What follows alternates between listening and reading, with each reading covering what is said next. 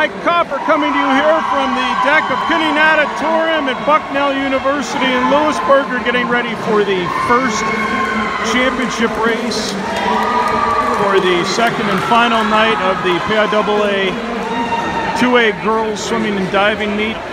Probably hard to see from here. This is the 100 yard freestyle final. Lane 7, Emma Wilson of Grove City. And in lane 8, Ellie Kraus of Fairview, the hero of their 200 freestyle relay championship last night. They're in lane 7 and 8 on the far side.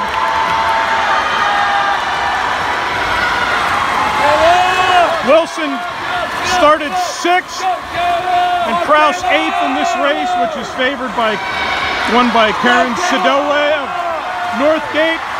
This is Wilson's last individual event as a varsity swimmer, the senior bound for the University of Pittsburgh.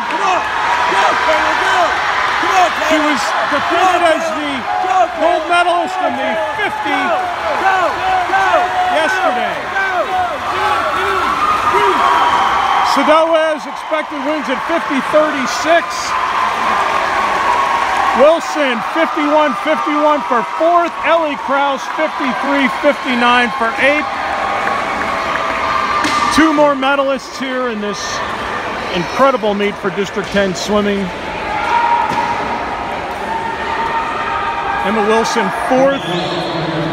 Ellie Kraus of Fairview eighth in the AA girls 100 free.